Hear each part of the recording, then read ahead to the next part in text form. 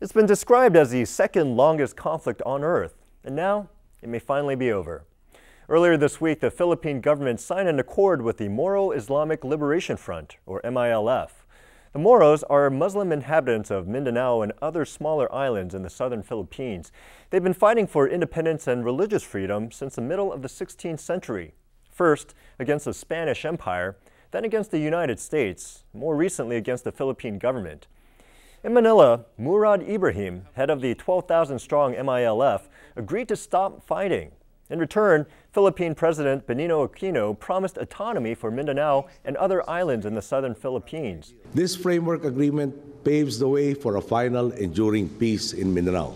It brings all former secessionist groups into the fold. No longer does the Moro Islamic Liberation Front aspire for a separate state. The agreement is called Bangsamoro, named after the people who live in and around Mindanao. Since 1971, the Moro insurgency has killed at least 120,000 people, displaced 2 million, and drained the treasuries of successive Philippine governments. But not all Moro groups have agreed to the accord. There's still lots of open questions about what autonomy will mean. For example, how Mindanao's majority Christian population will fit into the new political structure. To help us understand some of these issues, we have Steven Rood with us on Skype from Manila. Rood is country representative in the Philippines for the Asia Foundation and has spent decades working in Mindanao. His most recent publication is Forging Sustainable Peace in Mindanao. Steven, welcome to Link Asia. I'm glad to be here, Yul. The Bangsamoro Agreement is just a framework for future negotiations. Are you optimistic that it will ultimately lead to a full treaty? Well, the framework agreement that was signed here in Manila last Monday is already calling for four annexes to provide more details by the end of the year. Once that's completed, there will be a domestic process of consultations and drafting of a new basic law for Bangsamoro, which needs to be passed by the Philippine Congress and ratified down in those localities by a plebiscite. Once that's done, by 2016, we should have the normally scheduled elections after which there will be an exit document that closes the whole process. So as you can see, there's a lot of steps between here and there, and there needs to be care taken to make sure we don't stumble along the way. What are some of the major challenges that still stand in the way?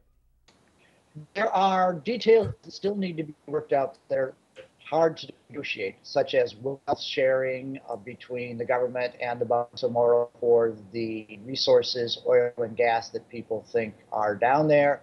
There's the question of internal security and the policing. How does the police force for the Bangsamoro relate to the national police?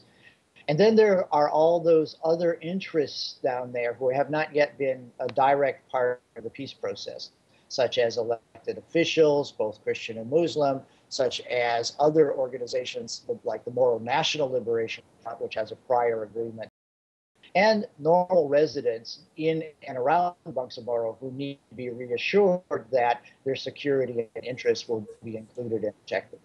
But what about other separatist groups in the southern part of the country? Are they on board with all this? Well, the Moro National Liberation Front was the original liberation front, and it has splintered into a number of factions after reaching a 1996 agreement with the government. The other types, of course, are the terrorists who are down there who are in this, uh, they need to be isolated from the mainstream so that it's possible to deal with them through both the police force for the Bangsamoro and the armed forces of the Philippines. The conflict seems to have as much to do with the migration of Christian settlers from Luzon and other Philippine provinces and the marginalization of the Moros. Do you think that the two communities can ultimately get along? Uh, well, the, a couple of things about the two communities getting along. In the first place, the Bangsamoro uh, will cover areas that are vastly majority Muslim. So there is a general delineation of territory that will help keep uh, the peace. But there's also considerable goodwill uh, that was eroded over decades of conflict, but is latent. In our survey data, we find that both Christians and Muslims want a peaceful agreement, are willing to make legal changes to have it, because they all see that conflict hurts both sides and makes it impossible to really economically develop. Thanks, Steven. Steven Rood is country representative for the Asia Foundation in the Philippines. He's also a member of the International Contact Group, which is comprised of diplomats and NGOs, and which played a key role in negotiations between the Philippine government and the Moros.